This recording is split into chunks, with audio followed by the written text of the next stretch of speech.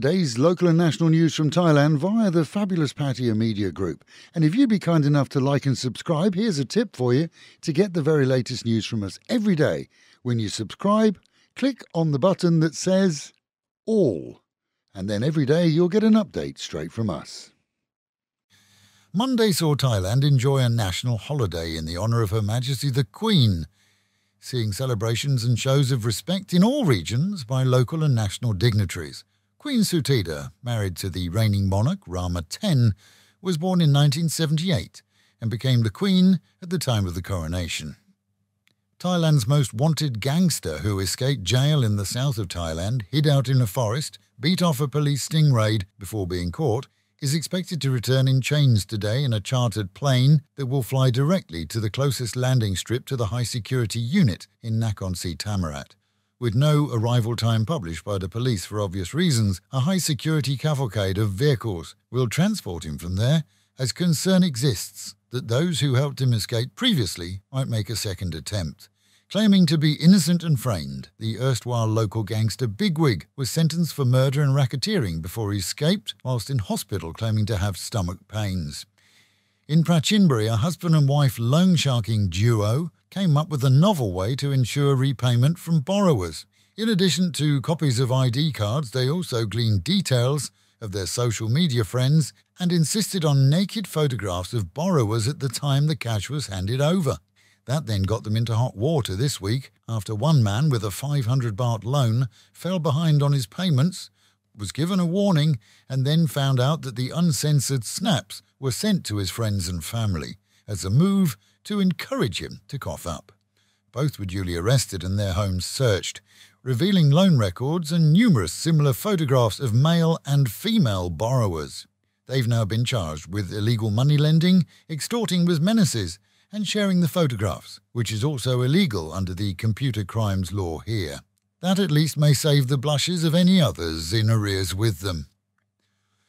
Using his own motorbike with number plates as a getaway vehicle showed that a 22 year old wannabe gold shop robber in Ratchaburi wasn't exactly a pro.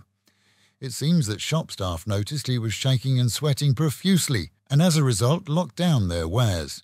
Picking up on that, he grabbed what he could a single one baht gold piece and fled. Tracked quickly after the botched robbery, police found him still clutching the single necklace that he stole.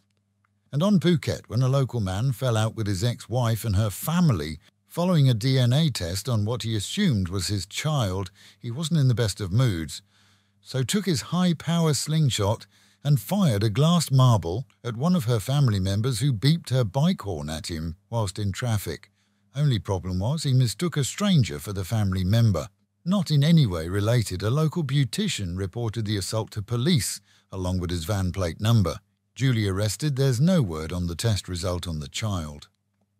Meanwhile, at home, and raids this week on a handful of club type bars in Soi Khao Phai led to police finding them still in full swing in the early hours, way after licensing times. All operators have been charged with numerous crimes and warned that repeat offenders will see the properties, not the operators, banned from licensing for up to five years. That's happened in the past, and it certainly will tick off landlords and likely see them clamp down on errant tenants. A post mortem is being carried out this week on a foreigner found alone and beyond recovery on Pattaya Beach after being washed up in the tide. With no form of ID on his person, he was taken away by authorities. The Caucasian male is believed to have drowned. However, official reports will be released only after full examination is carried out. A 38 year old Russian man fell from his Thepprasit Road condo yesterday. Medics removed him from the scene as police found no sign of aggression in his rented room, but were told that he'd asked his landlord for a payment holiday as he was low on funds. Condo staff stated that he was drunk when last seen and had been involved in a claim by a massage shop employee of harassment, which had allegedly recently been resolved. His embassy was duly informed. And Idiot of the Week award goes to a local man who got his pal to film him whizzing through the underpass on the Sukhumvit at night illegally on a motorbike and doing a wheelie. The one wheel ride was shared amongst friends, but one of them shared with others and it went viral. He handed himself into police this week and has been charged with driving without any license or insurance, amongst other charges which include reckless driving. Word is that he was thrilled by the sound of his bike in the underpass. That bike has now been confiscated too. And with the Met Office promising highs today of around 33 degrees, dropping down to 27 at night, a mostly cloudy day with showers throughout, and the real feel of perhaps 36. Local and national news today from Fabulous 103 FM and Fabulous Pattaya Media Group. And to get a notification every time we release another bulletin or program, like and subscribe to our channel, Fabulous Pattaya Media Group, by using the link below.